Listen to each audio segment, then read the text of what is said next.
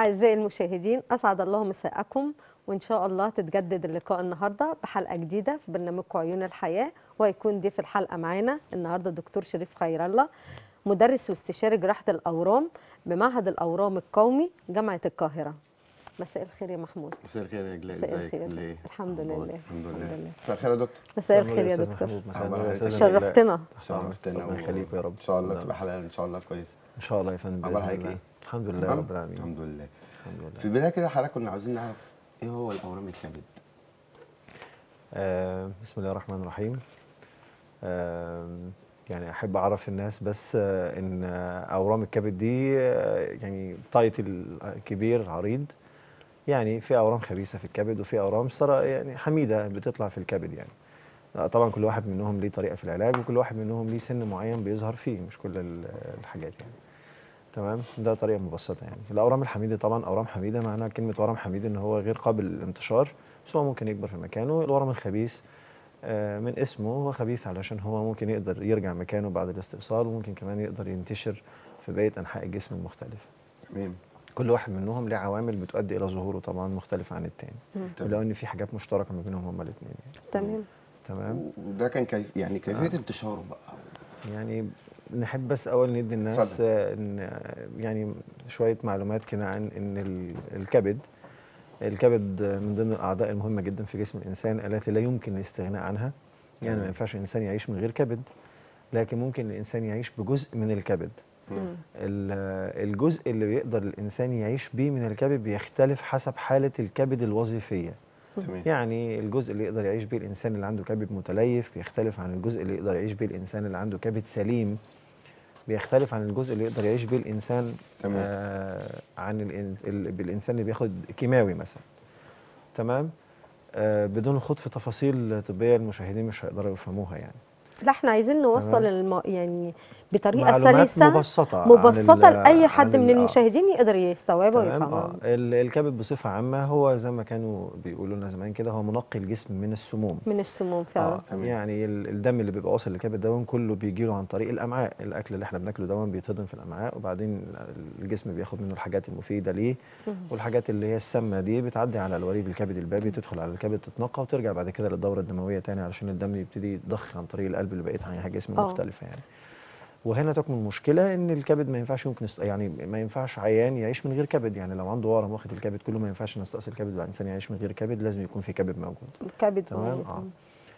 آه، ده بس. طيب ممكن بقى بجانب حضرتك- وظائف أخرى كتير جدا بس يعني طب ممكن بقى حضرتك تكلمنا عن يعني كيفية انتشار الكبد الوباء الوبائي وأنواعه إيه؟ هو يمكن حضرتك ده سؤال مهم جدا لأن يعني انتشر في آه، الفترة في اللي مصر فاتت مثلاً، آه. مصر كلها؟ انتشر موضوع الكبد الوبائي لا هو دوت. هو بس الفكرة إن إحنا عندنا ال- الفيروسات اللي بتيجي في الكبد هو كذا فيروس. آه. آه خطورة الفيروسات دي إن هي بتعمل تليف في الكبد والتليف في حد ذاته هو عامل مساعد لحدوث سرطان الكبد. في البلاد اللي زي حالتنا الفيروس C مثلا في على سبيل المثال متوطن مم. نسبة الإصابة بتاعه الكبد بسرطان الكبد بتبقى عالية بعد سنين طويلة. ما بيلاحظهاش إلا بعد عمر ه- هنا معلش عفوا يا دكتور بس كنت في النقطة دي بالذات إن الكبد الوبائي فيه A و B و C تمام آه أنا كنت حضرتك يعني خدت كلام من على أنا آسف على. بس أنا بس عايز أقول تمام. حاجة يعني ليه دايما C هو اللي بيبقى أخطر. آه أخطر أخطر أخطر. جدا آه. يعني في مصر هنا بنتكلم بنهتم بفيروس C على. أساس إن فيروس C هو المتوطن في مصر لأن أنا المعلومة اللي أنا عايز أقولها لحضرتك إن فيروس B أخطر B. وفيروس B آه هو آه. المصاحب لسرطان الكبد أكتر. تمام. أكتر من C يا دكتور؟ أكتر من C. تمام؟ مم. آم، الفيروسات الكبدية عموما هم عبارة عن خمس أنواع من الفيروسات. تمام. خلاص؟ اللي هو الالتهاب الكبد الوبائي يعني. الوبائي. الاي والبي والسي والاي والدي خلاص؟ ما حدش بيجيب سيرة ال E وال D قد كده لأن ال E وال D عموما فيروسات معتمدة على غيرها. يعني دايما العيان اللي عنده فيروس C أو عنده فيروس B تمام. بيجي لهم كمان D معاه وجود الاثنين مع بعض بيخلي الموضوع كارثي أكتر تمام خلاص ال A ما بيسببش تليفات ليه لأن ال A زي ما بيقولوا كده هو food borne يعني بيجي عن طريق الأكل أو الشرب بيعمل شوية أعراض التهابات كبدية صفرة الإنسان تمام. بيلاحظها عليه بدري وبعدين ياخد العلاج ويخف ده زي الأطفال اللي بتجي. لهم الصفرة ديت أول ما لا، يتولدوا ده ده مختلف دي تماماً مختلفة عن الموضوع. عن كده آه. بس في آه يعني شباب كبيرة بتجي لهم نسبة الصفرة فبيتعالجوا بيها. حضرتك لو تطرقنا لموضوع الصفرة ده الصفرة ثلاث أنواع. خلاص؟ ما إحنا عايزين بقى نوضح كل الأجزاء دي كل واحدة بيقع آه، على حدة. هو أنا- بس حضرتك ممكن ندخل مداخلات؟ آه طبعا اتفضل. ماشي أستأذنكم من فضلكم بس نزلوا لنا الأرقام على الشاشة. اتفضل يا دكتور. اتفضل. ال ال ال ال زي ما إحنا قلنا الفيروسات عبارة عن A وB وC دول اللي هم الثلاثه المنتشرين. A ما بيعملش. تليفات في الكبد وبالتالي هو غير مصاحب آه لسرطان الكبد. مشكلة ال B وال C إن هم بيجوا بيتقسم المراحل بتاعة الإصابة بتاعتهم لثلاث مراحل. آه. آه، المرحلة اللي بيبقى فيها active viral infection يعني الإنسان جاله الفيروس عمل أعراض عنده بس بعد كده بننشطها آه، إحنا بقى الفيروس بطريقتنا. اهو آه. لا لا يعني أكمل لحضرتك بس. آه. الفيروس موجود عامل أعراض بعد الإنسان ما بيخف هو حقيقة الفيروس ما بيبقاش مشي هو بيبقى موجود جوه خلايا الكبد في مرحلة اسمها latent period الفترة الخاملة. في خلال الفترة الخامله دي هو بيفضل يبوظ في الكبد وخلايا الكبد لحد ما بيعمل له خمول آه. يا دكتور خلايا برضه. الكبد لما بتبوظ يا فندم أو بتتكسر مش. بتعمل خمول ولا حاجة. بيبتدي الجسم بيعوض الخلايا دي بإن هو يعمل تليفات. التليفات اللي في الأول دي بتبتدي تزيد تزيد لحد ما التليف يوصل لأكبر درجة ممكنة من الكبد. يبتدي وظيفة الكبد تتأثر. يبتدي الأعراض بتاعه نقص طب هستاذن حضرتك بس قصور معلش الكبدي اسف معلش مقاطعة بس في عندي مداخله اتفضل يا فندم. ألو؟ ألو. أيوه يا فندم. أستاذ عبد العزيز. أيوه يا فندم. أهلا بيك. دكتور نعم يا فندم؟ عاوز أتواصل معاك. اتفضل يا حبيبي. السلام عليكم. وعليكم السلام ورحمة الله وبركاته. عاوز فوق ده جنيت أنت اورام بالكبد الإيه يا فندم؟ طب ممكن توطي التلفزيون بس وتسمعنا من التليفون؟ ماشي. وطني ماشي اتفضل. فوق ده الكبد بس عاوز انت حضرتك من الش- السودان الشقيقة طبعا. آه. أهلا بيك. الدكتور معاك اتفضل اسأل السؤال. ومعقول كل عندي وديت عند دكاتره كتير وما ريقاش على ولا ولا عليها حاجة. طب ولا الكيمو من عندك طب استسمع حضرتك بس يعني تيجي في حتة فيها شبكة كده وحضرتك تعيد السؤال تاني. ما فينا في حتة شبكي. انت بتقولي لا حضرتك عبد العزيز أستاذ عبد العزيز. عبد العزيز حضرتك بتقول اللي انت تواصلت مع دكاترة كتير ومش عارف توصل لل- للحالة اللي انت فيها إيه. فانت عايز تتواصل مع الدكتور صح الكلام؟ أيوه أيوه. طب أنت حضرتك حضرتك عملت إشاعات عملت تحاليل؟ قالوا لك إيه؟ عملت إشاعات وعملت تحاليل. التحاليل بان فيها إيه أو الإشاعات حضرتك؟ أورام. أورام؟ أورام على الكبد. آه. آه. حضرتك عندك تليف في الكبد يا فندم؟ نعم. حضرتك عندك تليف في الكبد؟ أيوه. كان عند حضرتك فيروس من الفيروسات الكبدية اللي إحنا بنتكلم عليهم دول بي أو سي؟ ولا حضرتك ما لا. تعرفش إن كنت مصاب ولا لا. اكتشفت الموضوع أول ما التليف حصل. أيوه. آه وبعدين عملت أشعة مقطعية بالصبغه قالوا إن في أورام على الكبد. أيوه. طب حضرتك وظيفة الكبد بتاعتك إيه؟ أيوه الوظيفة يا فندم إحنا علشان نقدر نقول لحضرتك العلاج المظبوط لازم نعرف وظيفة الكبد. وظيفة الكبد عندنا بنعرفها من خمس حاجات. حطيتها في التحاليل. آه يعني حضرتك يا ريت تطلعنا على التحاليل بتاعتك. لو في أي أرقام من الأرقام الموجودة تبعت لنا الاشعاعات أو التحاليل بتاعتك على الواتساب وإحنا هنشوفها وهنرد على حضرتك إن شاء الله. وتابع الحلقة إحنا هنتكلم على العلاج بالتفصيل إن شاء الله بإذن الله على كل مرحلة من المراحل الوظيفية بتاعه الكبد. الأرقام يا أستاذ عبد العزيز اللي هتبقى موجودة على الشاشة عليها واتساب. حضرتك ابعت التحاليل بتاعتك والإشاعات ودكتور شريف هيشوفهم وهيرد عليك. طب إحنا بنشكرك يا أستاذ عبد العزيز وإن شاء الله الدكتوره تتواصل معاه مع الأرقام اللي هو على ممكن الشاشة. يتابع الحلقة للنهاية إحنا هنتكلم تمام. بالتفصيل على الحالة الوظيفية للكبد وكل حالة وظيفية إيه اللي بالظبط ينفع للعلاج العلاجات المختلفة لسرطان الكبد تمام. كل علاج إيه اللي ليه وايه اللي عليه وكل علاج ينفع آه. لمين لمين وما. ينفعش لمين بالظبط كده. خلاص بالظبط. بس يعني إحنا هنتكلم في الحاجات دي كلها خلال الحلقة إن شاء الله بإذن بإذن الله خلاص بإذن الله زي ما إحنا كنا بنتكلم دلوقتي إن في مصر هنا في البلاد بتاعتنا أو في الشرق الأوسط عموما ال- البلاد اللي بيبقى فيها الفيروس الكبدي المتوطن دي أكبر عامل مساعد لحدوث سرطان الكبد عشان كده تلاقي زمايلنا وإخواتنا وأهلنا الفلاحين علشان البلهارسيا زمان. وعلشان كمان ال ال ال النظام اللي كان موجود في مصر زمان إن السرنجه كان بيعاد استخدامها أو نقل الدم. آه المختلف. أو عن. طريق الحلاق آه. أو أي حاجة ده بيجي لهم فيروس C أو فيروس B وما بيلاحظوش إن هم عندهم الفيروس وبيعيشوا حياتهم طبيعي والفيروس موجود في جسمهم قاعد بينخر في الكبد وبيبوظه. لحد ما يكتشف في الآخر إن وظيفة الكبد بتاعته تعبت فيبتدي يعمل أشعة أو تحاليل يبان عنده الورم. تمام. آه. خلاص؟ آه ال- الفيروس A زي ما إحنا قلنا ملوش علاقة بسرطان الكبد B و C ليهم علاقة بسرطان الكبد. دول من أكتر الأسباب اللي في البلاد بتاعتنا بتسبب سرطان كبد. طبعا سرطان الكبد ليه أسباب تانية كتير جدا. منهم مثلا الكحوليات بس ده بيبقى موجود في بلاد الغرب يمكن عن البلاد ال ال ال أو المجتمعات آه. بتاعتنا يعني مم. الحاجة الثانية المشاكل بتحصل في القنوات الصفراوية القنوات الصفراوية زي آه، حاجة يعني آه، اسمها طبعا بدون ذكر اسامي آه. القنوات يعني لا هي القنوات الصفراويه دي ما لهاش أسماء هي مجموعة آه. قنوات اسمهم كلهم على بعضهم آه، القنوات كلها. الصفراوية آه. آه. آه القناة الصفراوية الأساسية ساعات بيحصل فيها تصلب التصلب ده بيؤدي إلى ال- ساعات بيطول كمان القنوات الصفراوية الموجودة جوه الكبد فبيعمل سرطان ورم سرطاني في الكبد تمام الأورام السرطانية في الكبد إحنا بنبسطها للجمهور بس هو الأورام السرطانية في الكبد ممكن يكون منشأها خلايا الكبد نفسه تمام. وممكن يكون المنشأ بتاعها الخلايا بتاعة القنوات الصفراوية اللي إحنا بنقول عليها يعني دي برضه يعني ليها عندنا، ليها آه. عوامل وراثية برضه يا دكتور ال ال ال ال ال القنوات الصفراوية آه. والمشكلة اللي بتحصل فيها فيها جانب وراثي جانب وراثي آه آه، فيها هو جانب اللي وراثي بيأثر على وفيها كده. جانب مناعي مم. إحنا عندنا حاجة اسمها diffuse sclerosing cholangitis أيوه تمام خلاص وعندنا حاجة اسمها choledochal cyst مم. الحاجات دي كلها ال choledochal cyst دي حويصلها بتبقى موجودة في القناه الصفراوية الأساسية كده دي من. ضمن العوامل المساعدة أو اللي إحنا لما بنشوفها في عيان بنقول العيان ده ممكن يصاب بسرطان بتاع القنوات المرارية مم. أكتر من غيره. كذلك ال diffuse sclerosing cholangitis أو التهاب ال- القنوات الصفراوية ال- التصلبي. المنتشر لأنه بيبقى واخد القناه الصفراوية الأساسية بياخد القنوات الصفراوية اللي بتبقى موجودة جوه الكبد فده برضه بيزود نسبة حدوث سرطانات الايه الكبد. هي مش سرطان في خلايا الكبد نفسه سرطان معلش في الخلايا حضرتك بس المقاطعة معانا ألو؟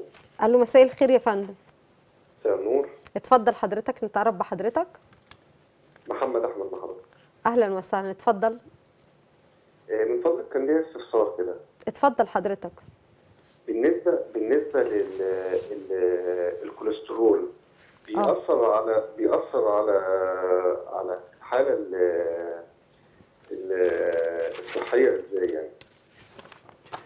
هو أنا هجاوب حضرتك بس هو الموضوع بقى خارج موضوع الحلقة. بص يا فندم الكبد له وظيفة مهمة جدا في ال- ال metabolism أو الأيض الغذائي بتاع الكوليسترول اللي موجود في الجسم لأن الكبد من ضمن ال- ال- ال- ال- الأماكن الأساسية اللي في الجسم اللي بيطلع بيه ال- اللي بتصنع ال- البروتينات ال- اللايبوبروتينات اللي بتبقى موجودة في الجسم المسؤولة عن شيل الكوليسترول وإن هي توديه للأماكن الطرفية بتاعته.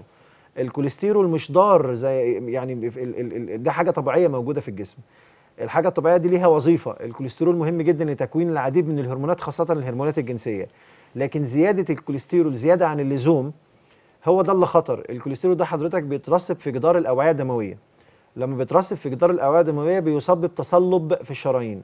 تصلب الشرايين بيبقى موجود على جميع أنحاء الجسم على كافة أنحاء ال ال ال الأعضاء الموجودة في الجسم. فممكن يعمل مشاكل في القلب لو عمل تصلب في الشرايين التاجية. ممكن يعمل مشاكل في الدماغ لو عمل تصلب في شرايين الدماغ. ممكن يعمل مشاكل في الأطراف لو عمل تصلب في شرايين الأطراف. التصلب اللي بيحصل في الشرايين بيقلل كمية الدم اللي بتروح للعضو ده ومن هنا بتيجي المشكلة الكوليسترول لما بيكون زيادة يا فندم في الجسم بيبتدي يترسب في أماكن مش المفروض يترسب فيها يبتدي يترسب في جسم الع... في جفن العين فيظهر حاجات. كده صفرة بتبقى موجودة حوالين العين تمام ال- الزيادة بتاعت الكوليسترول في الجسم الأستاذ محمد الأول بس وحضرتك تكمل آه. معانا اتفضل هو زيادة ال... ال... نسبة الكوليسترول في الجسم مش لازم تكون كوليسترول بس. إحنا الموضوع عندنا بتاع الدهون عموما يعني آه. آه، بيبقى زيادة في كذا حاجة لا إما زيادة في الكوليسترول آه. لا إما زيادة في نسبة الدهون الثلاثية خلاص؟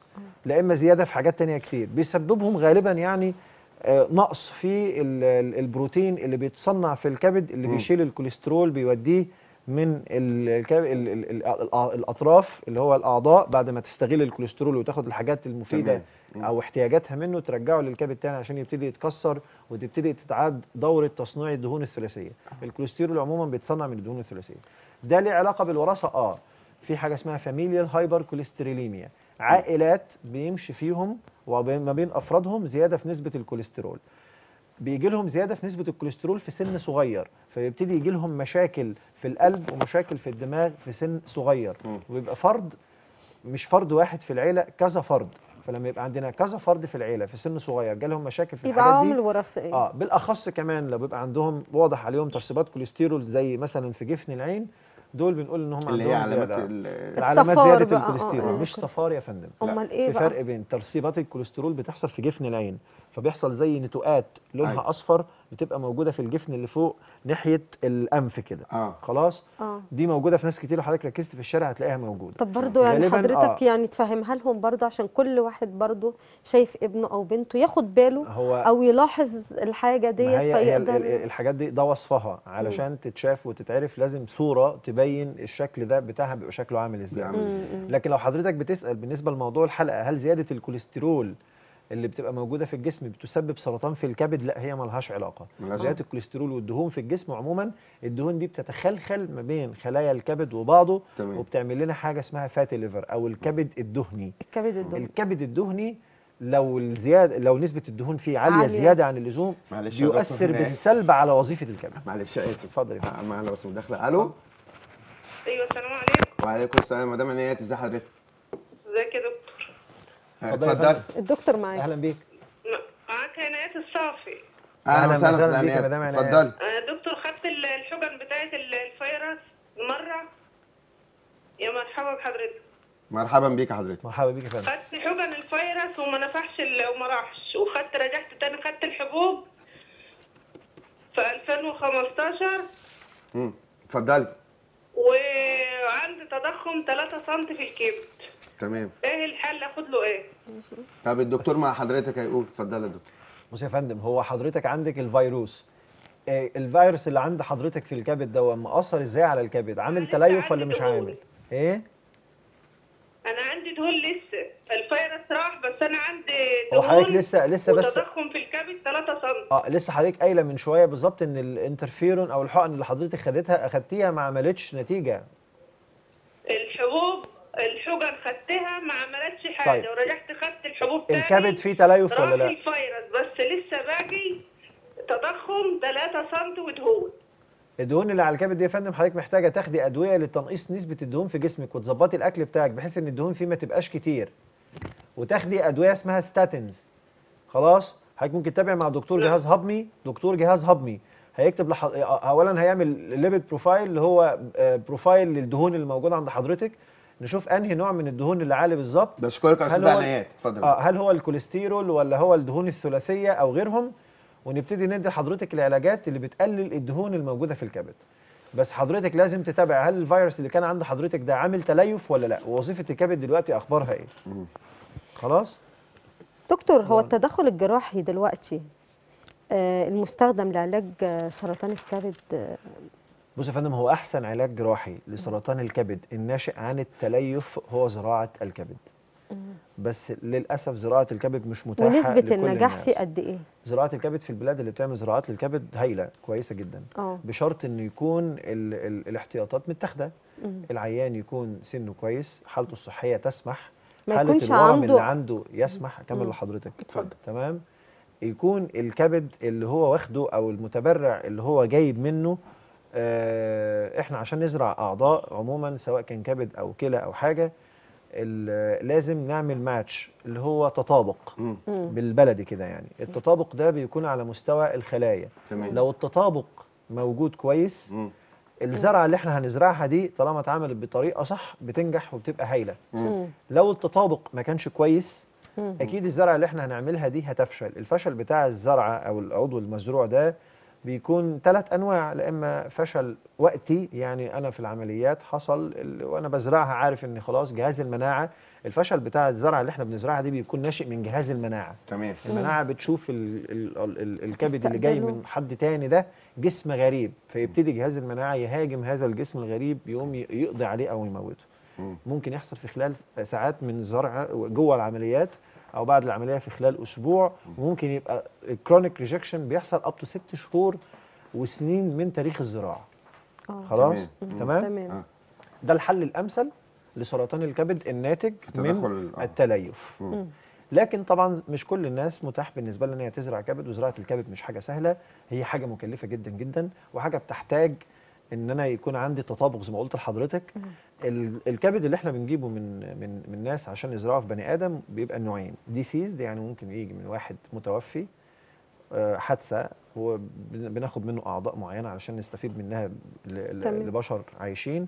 أو يكون أحد أقارب الدرجة الأولى أو أي بني آدم طبيعي طبعا سواء يعني وده دكتور يعني حاليا آه، متوافر متوافر بيحصل؟ في مصر بس يعني مش للدرجة هو حتى في العالم كله في قوائم انتظار عنيفة آه. للناس اللي محتاجين يزرعوا في الكبد لأن بتوع الأورام مش بس هم اللي بيزرعوا كبد آه. الناس اللي عندهم تليف في مراحل متأخرة حتى لو ما عندهمش أورام الكبد بتاعهم بيبقى تمام. منتهي وحالته الصحية لا تسمح ب بتدخل جراحي. لا لا تسمح بتدخل الجراحي ولا تسمح بإن العيان ده يعيش بيه كده. خلاص فبنضطر إن إحنا نزرع له إيه نزرع له كبد فالموضوع ما بيبقاش متاح لكل الناس دكتور معلش حضرتك خلاص. ممكن تقول لنا العلاجات الموضعيه لسرطان هو أنا الكبد؟ بس أكمل لحضرتك آه. الحل الثاني بقى إن إحنا عندنا لما يكون عندنا سرطان في الكبد بنعالجه بثلاث حاجات آه. لا إما العلاج الجراحي لا إما حقن كيماوي في الشريان الكبدي لا إما التردد الحراري مم. خلاص العلاج الجراحي بينفع within limits يعني لازم يكون أنا عشان أقرر إن العيان ده وإن هيعمل علاج جراحي لازم الجزء اللي أنا هشيله ده. أنا شلت جزء خلاص. تمام. الجزء المتبقي من الكبد في جسم الإنسان يكون يقدر يكفي احتياجات جسم الإنسان. تمام. خلاص؟ نرجع لكلامنا اللي أنا قلت في الأول إن الجزء ده بيختلف ما بين الإنسان السليم اللي أنا هشيله ورم في الكبد وعنده كبد بقيته سليم آه. الإنسان اللي عنده كبد متليف وعنده أورام في الكبد تمام. أو الإنسان اللي واخد علاج كيماوي لأي سبب من الأسباب. تمام. المفروض إن أنا الإنسان السليم تو 30% من الكبد آه، يعني أنا يقدر يعيش بيهم. مم. أو أو أو بمعنى أصح أقدر أشيل من الكبد ده تو 50% تمام. المتليف أنا ما أقدرش أكتر أشيل منه أكتر من 30% و70% يكونوا موجودين. الإنسان اللي واخد علاج كيماوي بيبقى 40% أقدر أشيل 40% من الايه من الكبد والباقي. يقضي الوظيفة. بس الباقي علشان يعرف يقضي الوظيفة كويس أنا ما أقدرش أجازف. لازم أعمل تحاليل وفحوصات بتقول إن الجزء الباقي من الكبد ده وظيفيا. وظيفيا. إحنا عندنا الجزء المتبقي ده بقيسه بطريقتين. طريقة تشريحية آه. يعني الجزء ده قد إيه من الكبد الموجود؟ الطريقة. الثانية طريقة وظيفية. يعني لو قلت مثلا إن أنا أقدر أسيب في أشيل من العيان دوت مثلا 50% ال 50% التانيين دول هيقدر يعني هيعيش بيهم قد يقدروا إيه؟ يعيشوا. لكن وظيفيا الله أعلم الله تختلف أعلم. من إنسان للتاني أكيد. فبنعمل dynamic studies أو دراسات وظيفية للكبد بتحدد لنا الجزء المتبقي من الكبد ده هيقدر يكفي يقوم الوظيفة بتاعة آه. الجسم ولا لا. بعد كده بنتوكل على الله سبحانه وتعالى بس العلاج بالله. الجراحي مش متاح أنا لما يكون عندي ورم. واحد حجمه أقل من 5 سم أقدر أعمل علاج جراحة عندي أورام متعددة متفرقة في أنحاء مختلفة من الكبد. أنا مش هقدر أعمل علاج جراحي. أكيد. لأن أنا هشيل حتة هنا وهشيل حتة هنا وهشيل حتة هنا. مم. الحاجة الثانية الوظيفة بتاعه الكبد نفسها ممكن ما تسمحش بإن أنا أعمل هذا الإجراء. خلاص؟ أو إن أنا هكون هشيل فص كبير والجزء المتبقي مش نافع. خلاص؟ أو عندنا ورم يعني. متفشي. آه. يعني إيه؟ يعني عندنا ورم أكبر من 5 سم ده مش بس أكبر من 5 سم كمان عندنا الوريد الكبد البابي وعندنا غدد لمفاويه وعندنا وعندنا وعندنا فالعيان دوت ما بينفعش معاه جراحة. عموما إحنا في الأورام علشان نعالج عيان بنعالجه stage by stage أو مرحلة بمرحلة. مرحلة. مراحل الورم بتعتمد على ثلاث حاجات. حاجة اسمها TNM يعني الورم نفسه اللي هو مكانه الغدد الليمفاوية المصاحبة للورم وهل الورم ده منتشر لحاجات تانية ولا مش منتشر لحاجات تانية. خلاص؟ العيان اللي بيبقى عنده تليف وحاله إحنا بنقيس وظائف الكبد برضو بخمس عوامل. بيتحدد على أساسهم حاجة اسمها Child classification تقسيمة كده. بنقول مثلا A و B و C. تمام. ثلاث تقسيمات أهو. بنقول أنا أقدر أعمل جراحة للعيان اللي Child A okay. وبداية Child B وما أقدرش أعمل جراحة للعيان اللي وظيفة الكبد بتاعته Child B و Child C مم. أنت فاهمني. حضرتك؟ أيوه أيوه. تمام. أنا بس كنت عايز أقول لحضرتك حاجة. أكمل بس حاجة. اتفضل. أنا بس مش ممكن يكون إحنا بس عايز أقول لحضرتك حاجة. إحنا مش بنقطع حضرتك. هي الفكرة كلها إحنا عايزين الساده المشاهدين يستفيدوا بقدر كافي. تمام. فإحنا عندنا أسئلة كتير وعندنا على الفيسبوك وعندنا. مكالمات وعايزين للمشاهير. نرد عليهم. فإحنا عاوزين بس إيه؟ باستفاضة. وفي. نفس الوقت الله يعزك. إحنا مش بنقطع حضرتك. بس أنا كنت كنت بقول لحضرتك العلاجات الموضوعية لسرطان الكبد. بس ده إن شاء الله بس معانا مكالمة وحضرتك. ترد عليها. ألو؟ ألو؟ طيب هو الخط قطع بس هستأذن حضرتك إن شاء الله بعد الفاصل. حضرتك تبدأ عايز. فاصل ونتواصل إن شاء الله.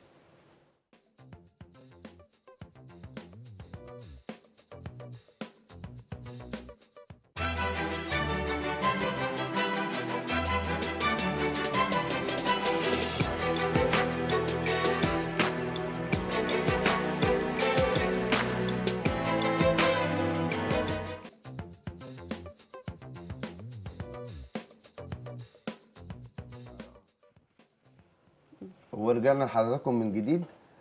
آه، دكتور كنت بقول لحضرتك إيه، حضرتك تقول لنا إيه الع- العلاجات الموضوعية بالنسبة لسرطان الكبد؟ ال- العلاجات الموضوعية زي ما إحنا قلنا آه، غير العلاج الجراحي العلاج بالتردد الحراري والحقن الكيماوي بالشريان الكبدي تمام. بس ده برضه بيعتمد على وظيفة الكبد. العيان اللي صحته العامة ما تسمحش بإجراء جراحة والورم بتاعه ينفع يستأصل أو حالة الكبد بتاعته لا تسمح بإجراء جراحة بس الورم بتاعه ينفع يستأصل وينفع له علاج جراحة بس حالته الصحية العامة ما تسمحلوش ما تسمحلوش ساعتها آه. آه البديل بتاعه التردد الحراري طب وده بس يخلينا آه. نقدر نقول التردد إن- الحراري ده بيبقى عبارة عن إيه يا دكتور يا فندم التردد الحراري دي عبارة عن إبرة من اسمه كده بتولد ترددات ح- ب- ب- موجات فوق صوتية بتولد حرارة الحرارة دي كلها بتموت الخلايا بتاعة الورم زي أجهزة. الليزر كده؟ لا مش جهاز ليزر يا فندم. آه. هي عبارة عن حضرتك إبرة كده آه. بتدخل جوه الورم بتفرش زي أمبريلا شمسية جوه. آه. خلاص. الشمسية دي بيدخل فيها موجات فوق صوتية بتولد حرارة. الحرارة بتموت الخلايا بتاعة الورم. من هنا بقى هي إبرة بتولد حرارة فما ينفعش أستخدمها لو الورم جنب وعاء دموي كبير. آه عشان ممكن يخليه آه ينفجر. ما ينفعش أستخدمها على الأورام السطحية. مم. اللي بتبقى موجودة على الكبسولة بتاعه الكبد أو قريبة من نسبة الكبسولة. نجاحها قد إيه يا خلاص؟ دكتور؟ لو الورم 3 سم وينفع له علاج جراحة التردد الحراري نفس ال ال ال ال النجاح بتاعه نسبه النجاح بتاعه زي العلاج الجراحي بالظبط. آه. بيقل الموضوع كل ما زاد خلايا كل ما زاد حجم الورم. آه. لو عدى عن 5 سم أنا مش بينفع معايا من الأساس التردد الحراري. آه. برضه ما قلتليش نسبة نجاحه قد ما أنا إيه قلت لحضرتك نسبة يعني النجاح التردد الحراري بتعتمد على حجم الورم. الأورام ال 3 سم أو أقل نسبة النجاح بتاع العلاج الحراري التردد الحراري بتبقى زيها زي الجراحة بالظبط كأني عملت جراحة. كم حاله هايلة. كم حالة خلاص. عالجتها ونجحت معاك بالتردد الحراري؟ أقول لحضرتك لو الورم حجمه 3 سم أو أقل نسبة النجاح بتبقى 100% بيموت الورم وبيبقى كويس جدا كأن الإنسان عمل جراحة بالظبط. والحالة الصحية بتاعت والحالة الصحية المريض بتاعت بتبقى المريض بتبقى كويسة جدا. كويسة حتى لو جداً؟ العيان صحيا يقدر يعمل عملية إلا إن نتائج التردد الحراري والجراحة في الأورام اللي 3 سم أو أقل زي بعض. كل ما بيزيد حجم الورم كل ما كفاءة التردد الحراري بتقل والعلاج الجراحي بيكون أفضل أفضل منه آه مم.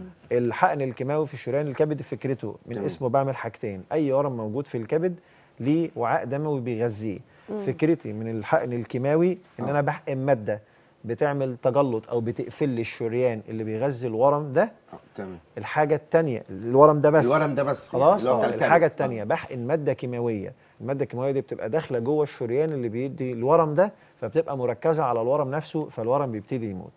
التردد ال- ال- الحقن الكيماوي في الشريان الكبدي بيبقى حاجات كتير. أنا ممكن أحقن مادة كيماوية بس ممكن أحقن مادة مشعة. زي هو مش علاج إشعاع هي مادة مشعة. مشع خلاص؟ مادة مشعة بتموت لي خلايا الورم بتدي الإشعاع على خلايا الورم نفسه. الماده دي اسمها Yttrium. خلاص؟ في في حاجات آه، تانية ب- يعني بتت بتت بتتحقن يعني بس أنا عارف يعني حضرتك ده الفكرة المبسطة باستفاضة بتاعت كبيرة آه. بس طبعا دي حلقة البرنامج آه. بس أنا كنت عايز أسأل حضرتك آه. سؤال هو مريض الكبد ممكن ياخد تطعيم وقائي من ضمن الأمراض ياخد تطعيم وقائي ضد إيه بالظبط؟ الأمراض عامة يعني عموما. ما فيش أي موانع للتطعيمات في مريض الكبد آه عموما يعني هو دايما بيقولوا في حساسية كده من مريض الكبد وحاجات تانية زي بتاع السكر لا هو مريض الكبد بيبقى حاله مريض الكبد بسبب التهاب الكبد الوبائي اللي عنده تليف عنيف أو آه. بسبب ال ال الكحوليات أو بتاع حالة الكبد الصحية بتاعته بتأثر على جسمه كله كله بس ده مش موضوعنا طبعا لأن أكيد الكبد طبعاً. بيأثر إزاي على طب الجسم عندي سؤال برضه يا يعني دكتور. منهم الاستسقاء مثلا تلاقي بطنهم كبيرة كده وفي بطن آه، مية جوه. بطنهم وبتاع آه. بالمناسبة وجود المية جوه البطن ده contraindication يعني أو أو أو أو يتعارض مع إجراء جراحة ويتعارض مع إجراء تردد حراري ويتعارض مع إجراء حقن كيماوي في الشريان الكبدي دي وصل لمرحلة آه، لأن وجود استسقاء عنيفة بالطريقة دي بتقول لي أنا حسب ال Child اللي أنا قلت لك عليه اللي هو. تقسيمة. ال Child دي. إن حالة الكبد متأثرة بشكل عنيف وما ينفعش معاها حاجة وده بيبقى. يعني طبعا بعد ربنا سبحانه وتعالى ارادته دي العيانين دول. حتى لو عندهم أورام في الكبد هم مش بيموتوا من أورام الكبد هم بيموتوا من الفشل الكبدي الفشل آه هسأل بقى. حضرتك سؤال اتفضلي يا فندم التضخم بتاع الطحال ليه علاقة بال بالتليف ال- بالكبد عموما يعني آه طبعا يعني ت... آه من آه من أهم أسباب تضخم الطحال هو ال ال مع إن الطحال. الطحال في جنب يعني بيتهيألي ما هو في الجنب الشمال والكبد في الجنب اليمين دي وحضرتك ده يرجعنا للتشريح أنا بتاع ال- آه. أنا بس كنت عايز أقول لحضرتك حاجة بره. الموضوع الاستاذه نجلاء ما شاء الله مع الدكاترة دايما بحس ان هي دكتورة يعني في ما شاء الله. أنا بحب لا يا فندم يا محمود أنا عايزة أفهم. لا والله لا ده أصل الكبد. أنا أعرف الكبد في اليمة اليمين والطحال في اليمة الشمال. تمام. بيأثر. تمام لا أنت هتغلطني دي. تضخم الطحال بيأثر فعلا على ال- على الكبد؟ هو مين بيأثر على مين بالظبط؟ تضخم الكبد؟ آه. أو تليف الكبد بتليف. الكبد بالمناسبة. بس عشان نبقى عارفين بس. في البداية الكبد الناس اللي بيبقى عندهم تليف دول في البداية الكبد بيبقى متضخم بسبب الالتهابات و و بتاع لما بيبتدي يحصل تليف عنيف الكبد بيصغر جامد جدا في الحجم في الحجم آه. بيبقى أصغر من الحجم بتاع الحجم الطبيعي؟ الحجم الطبيعي بابعاد يا فندم بإيه؟ أبعاد. أبعاد. آه، أبعاد آه. أبعاد. خلاص، حسب آه. جسم الإنسان؟ مش حسب جسم الإنسان يعني إيه؟ إحنا بنقيسها في- الأشعة ب- ب- ب- بأبعاد معينة في الأشعة يعني. آه. لو الأبعاد دي زادت عن الأبعاد دي لو حجم الكبد زاد عن الأبعاد دي بنقول الكبد ده متضخم. لو الأبعاد بتاعت الكبد قلت عن الأبعاد دي بنقول الكبد ده شرانكن يعني ضامر. ضم. آه. التليف في النهاية بيعمل ضمور في الكبد. الفكرة كلها زي ما قلت لحضرتك اسمه تليف. التليف ده يعني في ألياف أو في تكوين آه، تليفات حوالين الخلايا بتاعة الكبد. مم. آه، الخلايا بتاعة الكبد ما بينها وبين بعضها بيبقى في تراياد أو حاجة ثلاثية كده. بيبقى في الشريان اللي بيغذي الكبد وبيبقى في الوريد الكبد البابي وبيبقى في كمان القناه الصفراويه خلاص؟ لما يبتدي يحصل تليفات في ال في ال في الأماكن دي أو في الفواصل دي حضرتك بس معايا مداخلة. ألو؟ ألو؟ السلام السلام عليكم يا دكتور. وعليكم السلام. أهلا يا حاج ازيك اتفضل. الله يبارك فيك. والله عاوز أسأل الدكتور سؤال اتفضل. ممكن حضرتك تقول لنا الاسم بس؟ 10 صالح إبراهيم أستاذ اشرف أهلا بحضرتك. اتفضل الدكتور معاك. والله عاوز أسأل الدكتور أنا جا- صدري كان تعبت شوية والنفس آه، ضعيف شوية ضيق كده. النفس آه، كان يعني باخد نفسي بالعافية. فرحت سألت يعني على دكتور آه، رحت للدك- لدكتور صدر فخلاني عملت إشاعة. الإشاعة اثبتت إن عضلة القلب ضعيفة. تمام. و... أيوه. ف... فهو أعطاني علاج. أعطاني أربع سنوات في الشام فالشام عمل تورم في القدمين وتورم في الذراعين. والتهاب في الشفايف واللسان. فأنا رجعت للثاني قال لي هو ده الدواء اللي هو بتاع بتاع عضل عشان عضلة الق- القلب. فطبعا ال- الدواء ده أنا وقفته لأن رجلي ورمت جامد رجلي ورمت جامد والذراعين فأوقفت العلاج. فمش عارف أعمل إيه بس بعد ما أوقفت العلاج آه، أقول لك على نوع علاج جديد ثاني في علبه بالشام اسمها تريستان اللي هو تريستان اسمه إيه يا فندم؟ سيتوفاج. سيتوفاج. سيتوفاج. لعلاج ارتفاع ضغط الدم وال السكر علاج ارتفاع ضغط الدم والسكتة القلبيه والدماغية واخد بالك النشرة بتاعته فيه حاجات مخيفة جدا مكتوب فيها الحاجات دي اللي هو يعمل تورم في القدمين والذراعين والشفايف واللسان والتهاب ده كل ده حصل عندي أنا ده تمام. هو هو لو حضرتك بتاخد دواء وحصل من عند حضرتك مضاعفات من الدواء ده حضرتك ممكن توقف الدواء كله؟ أيوه دي ما أنا وجدت وبعدين عطيله كمان برشام لتنزيل المية. لما رحت له عشان ورم و- وفي قال لي في شوية مية على الرئتين. ب- وعضله الج- القلب ده ضعيفة. فاعطاني تاني برشام للمضر للفول وبرشام تاني برضه كله فيه أعراض جانبية جامدة جدا و و- و- وتسلط في الشرايين وحاجات كبيرة. ده ايات الحاجات اللي مكتوبة في الروشته حصلت عندي يعني. فأنا بعد ما وقفت العلاج دي ثالث يوم دلوقتي رجلي رجليا رجعت لطبيعتها آه، من غير ما اخد حاجة والورم راح وكل حاجة راحت. تمام. ونفسي استريح شوية. بقول لحضرتك عند حضرتك مثلا لازم آخد ل- ل- لعضله القلب دي حاجة يعني لازم آخد لعضله القلب حاجة ولا أروح لدكتور ثاني ولا أعمل إيه دلوقتي؟ هو حضرتك أكيد لازم تتابع مع دكتور القلب بتاعك وتاخد علاج. لو عضله القلب عندك ضعيفة هي اللي ممكن تعمل لك التورم في الجسم كله. حضرتك لازم تاخد علاجات عشان تقوي عضلة القلب وترجعها لحالتها الطبيعية تاني. لو حصل لك مشاكل من الأدوية دي اللي حضرتك بتاخدها بترجع للدكتور بتاع حضرتك ويبطل لك الدواء ده ويكتب لك دواء تاني. أنا بشكر حضرتك يا أستاذي. آه، حضرتك يعني حضرتك طبعا عرفت قصته. هو هو الموضوع هو بس فكرة بره آه. محتاج يرجع لدكتور القلب بتاعه تاني. أكيد آه. وأي عيان بيحصل له مشاكل من أي دواء بياخده ممكن يكون عنده حساسية ضد المادة الفعالة الموجودة في قلب الدواء فالمفروض يوقف الدواء ده ويكمل على دواء تاني. تمام. هو ده يا دكتور بالنسبة لحضرتك بتقوله ده ممكن مريض الكبد يجي له أرق أو يعني يجي له يعني زي تشنجات كمان ممكن ولا؟ هو مريض الكبد ما بيجيلوش تشنجات ولا حاجة بس هو الكبد في المراحل المتأخرة بتاعته الكبد مسؤول عن الايض الغذائي بتاع الأمونيا. تمام. آه والأمونيا لما ما بيحصلهاش ايض غذائي كويس بترجع في الدورة الدموية تاني بتأثر على خلايا المخ بتعمل coma. coma. آه coma. coma يعني غيبوبة. تمام. خلاص في حاجة اسمها الغيبوبة الكبدية هو ده التفسير بتاعها. مم. خلاص الأمونيا عموما بتتكون فين؟ عموما من ضمن الحاجات اللي بتكونها الأمعاء يعني. مم. خلاص. دكتور أنا برضه عايزة أسأل سؤال. كده. مريض الكبد ممكن يقوم بعمل رياضة آه ولا طبعا ما يا. فندم مريض الكبد زي أي إنسان طبيعي تاني يعني المجهود الزيادة عليه مش غلط هو أكيد لو بصي الإنسان. المريض الكبد ده لو حالة الكبد بتاعته سيئة هو الحالة الصحية العامة مش هيقدر سيئة. يتحرك آه فهو مش هيقدر يمارس الرياضة فإحنا ما بنطالبش أي بني آدم يعمل حاجة فوق طاقته لكن إحنا بنطالب إن هو يتحرك إذا أمكن لو قدر.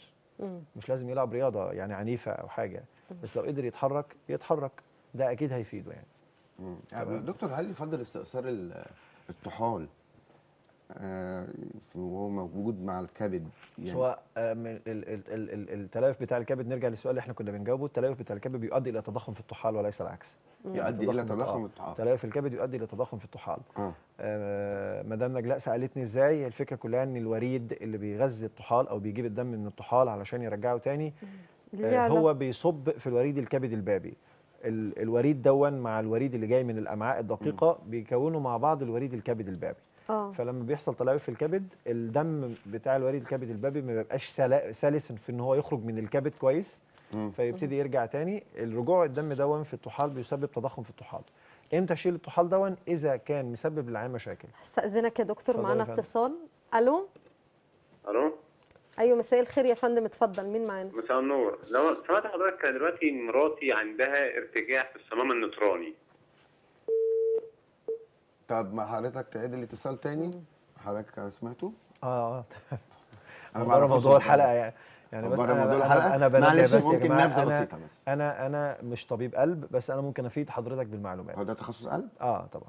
ارتجاع في الصمام المترالي يا لا أنا ما. أعرفش. أنت دكتورة. الصمام أنت المترالي، دكتور ده في أنا. بشهد لك يعني الدكتور طبعا شريف وكان معانا دكتور فهد وي وي لا آه، ما شاء الله عليك الصمام المترالي ده في آه، اتفضل يا دكتور. هو الصمام المترالي ده الصمام اللي بيبقى موجود ما بين ال ال ال ال البطين الأيسر والاذين البطين الأيسر.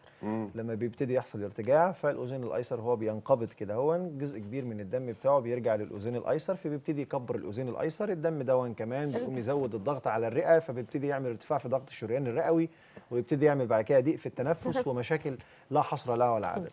إذا فشل الناحية الشمال آه. من القلب بعد فترة كبيرة بيفشل الناحية اليمين من القلب وبيحصل فشل قلب كامل ويبتدي الإنسان يورم. الناحية اليمين من القلب هي اللي بتستقبل الدم من جميع أنحاء الجسم. تمام. يبتدي بعد كده يحصل. بس الشكوى الأساسية اللي عنده ارتجاع شديد في الصمام المترالي ما بيتعالجش إن هو بيحصل له آه، آه، صعوبة في النفس وضيق في النفس. تمام ومشاكل تانية كتير فطبعا أنا بنصح إن الع- ال- ال- ال- المريض أو زوجته إن هو يتابع مع دكتور قلب كويس ولو محتاج علاج يتعالج طبعا طيب سؤال برضو عندي بعد. إذنك يا محمود مع إن محمود مش عارفة في إيه لا لا خالص والله. اتفضلي. دلوقتي آه، الم- المرأة اللي عندها الكبد وفي حالة متأخرة أو في حالة يعني ما بين كده وما بين كده ده بيسبب في انقطاع الدورة الشهرية عندها ده ليه علاقة ببعض؟ عموما ال- الدورة الشهريه لها علاقة بالهرمونات. آه خلاص؟ الإستروجين من ضمن الحاجات اللي كانت بتتصنع في ال في ال الكبد بيبقى ليه دور كبير فيها يعني. آه هو مش هيحصل لها انقطاع في الدورة يعني. انقطاع الدورة ليه علاقة بالمبايض بس الحالة الصحية السيئة بتاع البني آدم ممكن تعمل خلل في الدورة الشهرية. أيوه. آه. طيب شكرا يا دكتور. طب يا دكتور أستاذ حضرتك بس معايا اتصال؟ اتفضل يا فندم. ألو؟ أستاذ. حسام. أيوه. آه أستاذ حسام أهلا بيك؟ يا أستاذ حسام. ألو. أيوه يا فندم مع سامعين حضرتك. ماشي. دكتور بس حضرتك ممكن تقول لنا هل ال- ال- المريض ال- العلاج الكبدي الم- المتليف ممكن يرجع سليم؟ لا. صعب. نهائي. مستحيل. نهائي ومستحيل. مستحيل. ما بيرجعش سليم. يعني بالعلاج التليف غير قابل للرجوع. آه. إحنا كل اللي, اللي بنقدر نعمله في الناس اللي عندهم فيروس سي أو بي أدى إلى تليف الكبد إن إحنا نوقف التليف ما يزيدش ونحافظ على وظيفة الكبد ونحاول نحسنها مم. وظيفيا لكن التليف ما بيرجعش ماشي هستأذنك بقى يا دكتور استاذنك يا نجلاء بس. هطلع فاصل هتطلع فاصل آه. بس ماشي. أنا اللي هرجع بعد الفاصل عشان عندي سؤال مهم السؤال. جدا لا هرجع بعد الفاصل بعد الفاصل. بعد. الفاصل إن شاء الله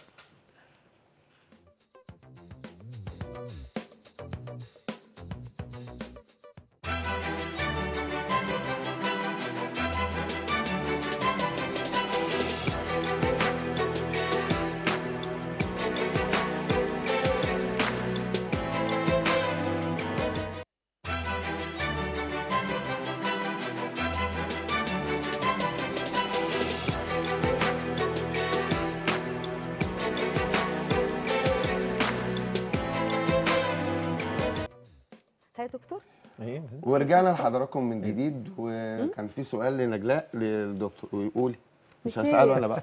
نسيت لا, لا أنا لا, هسأله ما بنساش حاجة أنا هقول بقول. لحضرتك يا دكتور. ممكن يختلف آه، مرحلة العلاج في المراحل السنية لا يعني بتبقى هي هي مراحل العلاج اللي إحنا بناخدها مش مراحل العلاج هو أنواع العلاج أنا قلت العلاج. لحضرتك مسبقا إن آه. أنواع العلاج بتتحسب حسب بتتحدد حسب حالة الكبد المرحلة حالة العيان الصحية وحالة الورم آه الصغير في السن. لو حالة الكبد عنده كويسة أكيد هو صحيا يستحمل اجراء بس الاستجابة. لل يعني للأعمار يعني الأعمار الصغيرة تبقى الاستجابة فيها بتبقى أقوى من الأعمار الكبيرة بتهيألي هو ال ال الكبد ال- من غير تليف آه.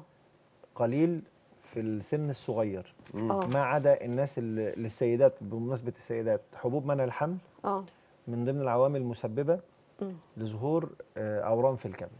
والله. خلاص؟ آه والله على المدى البعيد. ليها مم. تفسير طبي أعتقد إن السادة المشاهدين مش هيبقوا مهتمين يعرفوه قوي يعني علشان هو تفسير لا طب ف... لا معلش يا لا دكتور مش ممكن تفسير طب أنا آسف يعني لا يعني حضرتك يعني لا فاهم. آه يعني هم كلهم- ي- يجتازوه آه، ممكن إحنا- حد ما إحنا هو- يبقاش هو فاهم. الأورام اللي بتظهر في الكبد ما بتبقاش أورام سرطانية اولا بالنسبة لحبوب منع الحمل بيحصل حاجة اسمها هيباتوسيلولار أدينوما. آه. إن الإستروجين أو البروجسترون اللي هي الحاجات بتاعت حبوب منع الحمل دي كلها بتأثر على خلايا الكبد بتعمل فيها زيادة في النشاط. الزيادة اللي في النشاط ده بيؤدي إلى تضخم خلايا الكبد أو بيظهر فيها ورم حميد. آه. بس الهيباتوسيلولار أدينوما دي مشكلتها الوحيدة إن هي بتبقى ساعات بتنزف بتنفجر لوحدها وتنزف. آه. تؤدي إلى نزيف قد يؤدي إلى الوفاة. آه. خلاص؟ فطبعا السيدات اللي بياخدوا حبوب منع حمل كتير جدا ده من ضمن الحاجات اللي طيب وال... والحقن اللي بياخدوها لمنع الحمل كل برضو حقن منع الحمل. برضو الحقن والحبوب وكل ده؟ هي عامل مساعد عامل مساعد. عشان الكلام يبقى واضح مش كل السيدات اللي بتاخد حبوب لا برضو عشان الناس برضو هيحصل تاخد لها بالها. آه حبوب منع الحمل ليها مشاكل كتير جدا ممكن نبقى نعمل عليها حلقة لوحدها حبوب منع الحمل مشاكلها لا حصر لها ولا. يعني ما إحنا قبل آه. كده اتكلمنا عن خلاص. عموما يعني هي من ضمن عوامل المساعدة على سوء على حدوث سرطان هو الثدي دكتور كمان. آه، أنا مع يبقى حضرتك طبعا آه. يعني طبعا حضرتك بتشرفنا كتير و... طبعا وإن شاء الله نتواصل في الموضوع ده بعد. كده. بس خلينا في موضوع الحلقة حضرتك كنت بتتكلم بس أنا بجاوب على المد- المدام آه،. نجلاء. آه، السن الصغير معناها إن صحته غالبا بتبقى كويسة. لو حالة الكبد اللي عندنا بتبقى كويسة فهو ممكن يقدر يستحمل علاج. والجهاز أقدرش المناعي حضرتك. برضو قلت ليه الجهاز شرط مهم جداً أساسي يعني. آه. مهم جدا معلش يا دكتور هو كان في حاجة اتفضل. آسف. آه، يعني هو شرب عسل النحل. طبعا الكلام ده إحنا بنسمعه. بس ده سؤال برضه من ضمن الناس على الصفحة. بادئ بادئ أنا لا أعترف بالطب البديل. آه، لا ماشي. أعترف بالطب البديل. ولا أنكر إن المكونات اللي موجودة في الطبيعة مهمة جدا بس المكونات الموجوده في الطبيعة عشان أقدر أعمل منها علاج ده بيتعمل في مصانع. يعني أجيب المادة الخام دي أخد منها المادة الفعالة أحطها في كبسولة. يعني عسل النحل ده فيه مادة معينة مثلا. هتستخدم الأصلي. في علاج آه بغض النظر بقى. هتستخدم في علاج مرض معين. هأكل 2 كيلو 3 كيلو عسل يعني أنا ممكن أحط ال 2 كيلو 3 كيلو عسل. المواد بتاعتهم دي كلها اللي هو المادة دي بتركيز صغير قد كده في حباية واحدة. آه. أنا بس خلاص. ليه سألت حضرتك السؤال ده إن في بعض الناس تانية يعني طبعا مع احترامي للجميع يقول لك الطب البديل وأنا عارف حضرتك هترد أنا عليا الرد أنا. بقول على الهواء أنا لا أعترف بالطب البديل ولكن المكونات. الطبيعية دي أكيد بتفيد آه. البني آدم العلاج علاج الأكل مثبت. الصحي مادة فعالة أكيد، مثبتة أكيد. معمليا وذكر في القرآن برضه. يعني بعض الحاجات هو ربنا سبحانه وتعالى لما قال نعم فيه بالله. شفاء للناس معناها إنه في مواد فعالة بتؤدي إلى الشفاء من العديد من الأمراض أنا مش بقول ما تاكلوش كله بس إن أنت هتيجي تقول لي إن عسل النحل ده هو ده اللي هيخففني من سرطان الكبد الكلام ده مرفوض تماما. يعني بيكون. مناعات بيعمل آه. حاجة. لكن كبد لا. العلاجات الموجودة اللي إحنا بنستخدمها دي كلها في كتير جدا ومعظمها طالع من حاجات طبيعية. المادة الفعالة بتاعتها أو المواد الخام بتاعتها طالعة من حاجة طبيعية. بالظبط. خلاص؟ فأنا آخد الحاجة طبيعيه بس أنا محتاجها بتركيز معين. فبدل يعني لو لو حاجة التركيز اللي أنا عايزه منها يخليني آكل مثلا 3 4 كيلو من مادة ما طب ما أنا بجمع المادة الفعاله دي وأحطها في قرص واحد.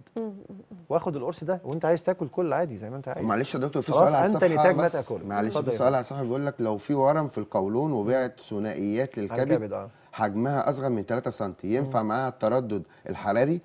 بص يا فندم والحالة هو دي بتاخد كيماوي حاليا. هو هو, هو العلاج الأمثل بياخد كيماوي آه. يا دكتور. بص يا فندم، العلاج الأمثل للأورام بتاعة القولون المنتشرة في الكبد إن هو يبتدي بالعلاج الكيماوي في الأول. خلاص؟ بعد كده بنشوف الاستجابة بتاعة الورم طالما هو مش مسدود طالما العيان مش مسدود يعني بيدخل الحمام وبيعرف يتبرز الحاجة الثانية طالما هو ما بينزفش. تمام. خلاص؟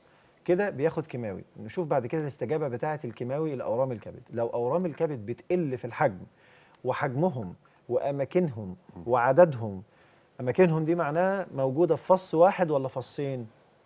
حجمهم هل هو حاجة كبيرة كده واخدة فص كله ولا حاجة صغيرة زي اللي هو بيقولها كده 3 سم تمام. تمام؟ عددهم ممكن يكون الكبد فيه أكتر من خمسة أو ستة متفرقين على الناحية اليمين وعلى الناحية الشمال. إحنا زي ما إحنا قلنا ما ينفعش نشيل الكبد كله. صح ولا لا أكيد طبعا آه آه. يعني جزء. فوقت ما يستجيبوا للعلاج الكيماوي وأقدر أشيلهم أحسن علاج لثانويات الكبد هو إجراء العلاج الجراحي. تمام. إجراء العلاج الجراحي. بنعمل حاجة اسمها parenchyma sparing liver resection إن أنا في الس- في الناس اللي هم منتشر عندهم الأورام بالذات من القولون ال- لازم أحافظ على كل ذرة سليمة من الكبد. علشان العيان ده وارد إن ممكن يظهر له أورام مرة تانية وثالثه ورابعة تمام. في قلب. الكبد. بس أحسن علاج ليهم العلاج الجراحي. إذا لم يمكن العلاج الجراحي بنعمل تردد حراري. والعلاج الجراحي هنا بيتقسم لحاجات كتير. ساعات الأورام اللي عندي دي أنا ممكن أستأصلها على مراحل. أنت فاهمني حضرتك؟ آه مع حضرتك فندم بستأصلها على مراحل. يعني استأصل الحاجات الكبيرة اللي موجودة في الأول والح... وبعدين. الكبد ميزته ربنا سبحانه وتعالى عطينا ونعم هبة. فيه إن هو أنا ممكن لو قفلت الوريد الكبدي البابي بتاع فص معين الدم كله لما يروح للفص الثاني. بيحصل فيه تضخم. تضخم. التضخم ده معناها. إن دكتورة الحاجات طبعا السليمة ما شاء الله. الكبد مش السليم عايز حد معاك يا دكتور؟ فلو كان الحجم اللي أنا كنت هسيبه في العيان ده غير قابل إنه أو غير قادر على إجراء وظيفة ال ال ال الكبد في. العيان ده آه. لما يتضخم هيقدر آه. فلما يتضخم أقدر أشيل الناحية الثانية آه. يعني ادي لحضرتك مثال عندي حاجة في الفص اليمين وحاجة في الفص الشمال بدأت قمت شايل الموجودة في الفص الشمال تمام خلاص وقمت بعد كده عامل حقن كيماوي في الشريان الكبدي في الناحية الشمال دي تمام. وخليت الناحية اليمين تكبر كده بعد كده لما الناحية اليمين كبرت ابتدي أشيل الموجود في الناحية اليمين. فأنا ممكن أشيل الحاجات الثانويات الموجودة في الكبد على مراحل خلاص؟ أنا مع حضرتك. في حاجة اسمها associated liver partition and right portal vein embolization دي حاجة معقدة جدا. لا أنت قولها لهم بقى لا، يعني, يعني ملخصها ملخصها إيه؟ آه يا دكتور بحاول إن أنا أضخم الجزء اللي من الكبد اللي أنا هقدر أشيل منه أورام وأحافظ على من الجنب اللي وأكبر. شايله. آه خلاص؟ آه. فالأورام بتاع الكبد نرجع تاني نلخص الحوار. نخليه. أورام القولون المنتشرة في الكبد ليها علاج؟ آه ليها علاج. أحسن علاج للأورام المنتشرة في الكبد من القولون هو العلاج الجراحي. العلاج الجراحي ممكن يتم مرة واحدة ولو أورام صغيرة. طبعا العلاج الأساسي بتاع الحالة دي إن هي تاخد كيماوي. إذا لم يكن الورم مسدود أو إذا كان الورم ما بينزفش. تمام. لو استجابة الورم بتاع الكبد ده للعلاج الكيماوي كويسة جدا بدخله immediately على العمليات. حتى لو ما شالش الورم الأساسي اللي موجود في القولون اشيل له الثانويات الموجودة في الكبد أول. استئصال الثانويات الموجودة في الكبد ممكن يتم في مرة واحدة. إذا أمكن استئصالها وممكن يتم على مراحل. تمام. إذا لم كان عددهم كتير جدا وموجودين في الفصين تمام. وحالة العيان الصحية ما تستحمش ما تسمحش بعمليات ساعتها بيتم استئصال الورم الموجود في القولون عشان ما يتسدس ويتم إجراء تردد حراري للأورام الموجودة في الكبد. نصيحة يعني الموضوع ده كتير جدا. يا دكتور نصيحة. لكل أم وأب وكل بيت. ياخد باله إزاي من بنته أو ابنه؟ وف... أيوه لا تمام. لا لا تمام. والله أنا سعيد. بتبصلي لا لا مش أنا بجد أنا وياخد. باله إزاي؟ أنا أعرف اللي ياخد باله من إيه بالظبط يا فندم؟ آخد باله اللي ابني ده سليم. يعني اللي إيه ابني الكبد يعني؟ بتاعه سليم. وظائف الكبد يا فندم. ما أنا أعمل وظايف الكبد. في طفل تلاقيه كده بطنه كده لا مرتفعه حضرتك ما شوية. تدخلوناش في موضوع جانبي لأن التضخم خلي بالك. استنى بس في مشاكل كتير جدا بتحصل على مستوى آه الاوعيه الدمويه في العيال اللي بيبقى لسه. مولودين يعني وعندهم. الصفرة. ده مش موضوع حلقه مش برضه موضوع. يعني ما فيش أي نصيحة. لا لا هو في بقى ممكن حضرتك تقول في لي نصايح؟ عامة إن الإنسان لو حس إن هو مش مش كويس أو في حاجة تعباه أو اللي حواليه حسوا إن في حاجة أيوة تعباه كده يا دكتور، هو ده اللي أنا يرجع. للدكتور يرجع للطبيب. الدكتور أو الطبيب هيسمع الشكوى بتاعته هيطلب منه التحاليل اللي هي هتقدر تبين الشكوى بتاعتي دي ممكن تكون من إيه آه. ويبتدي يشخصه وحسب التشخيص اللي هيظهر نبتدي العلاج. طب ما هو ده يا دكتور. اللي أنا بقوله بس يعني. أنا أنا بقول لحضرتك ما بس أنا بقول يا ما دكتور. تدخلناش في اعمار مختلفه لأن أطفال قصتهم قصة طويلة تانية نعم. طفل اللي بطنه كبيرة عنده استسقاء ده قصة كبيرة أستأذن خالص حضرتك يا دكتور تمام؟ بس يعني دي حاجة طبعا فندم. إيه كانت عاوزة تقول إيه يعني حاجة للسادة المشاهدين إن إحنا نقدر نقول لهم إيه اللي نقدر نخلي بالكم من إيه اهتموا من صحتكم خلي بالكم معاكم. حلو اهتموا من صحتكم عموما أيوه أي شكوى غريبة. عليكم نجري ارجعوا فيها. للدكتور آه الدكتور هيعمل حاجة من الاثنين لا إما هيطمنك حاجة. اسمها ري اشورنس يقول لحضرتك والله ما عندكيش حاجة. الشكوى اللي عندك دي شكوى بسيطه ممكن تاخدي لها ممكن يكون لها سبب واحد اثنين ثلاثة أربعة ومش حاجة خطيرة خد العلاج ده وهتخفي. تجنب يا دكتور أو الحاجات يقول؟ لك لا والله إحنا عندنا مشكلة إحنا محتاجين نعمل كذا ونشخص ونتعالج طب آخر حاجة هقولها اتفضل. يا فندم مريض الكبد دوت الحاجات المتعلقات بتاعته الشخصية المعلقة الشوكة الحاجات اللي هو بيتعامل بيها ديت ديت بتسبب حاجات معدية نقل معدي. إيه آه إيه إيه؟ آه. آه إيه فيكو أورال من آه. اسمها في الطب آه. من البق لل... لل... أيوة، أيوة. خلاص آه. بي وسي لا. عادي طيب, طيب. آه دكتور. بس انت ما تضمنيش. طبعا يعني أنا مش معنى كده ان حبيبي. إن أنت تستخدم معلقة بتاعت عيان عنده ما, ما اتغسلتش أنا أنا بتكلم طبعا على بشكر النص. حضرتك معلش طبعا لديك حلقه البرنامج خلاص إحنا خلصنا الحلقة طبعا أنا. بشكرك يا دكتور شريف وإن شاء الله في تواصل مع بعض. حضرتك تاني أتمنى إن أنا أكون فدت السادة المشاهدين بأي ما شاء الله حاجة عليك صدقني حاجة بحيي حضرتك وبشكرك بشكرك يا نجلاء. بشكرك يا شكرا ليك يا مدام نجلاء، شكرا ليك. على الله يعز حضرتك أشكركم على حسن المتابعة ودمتم في رعاية الله تصبحوا على خير شكرا يا فندم.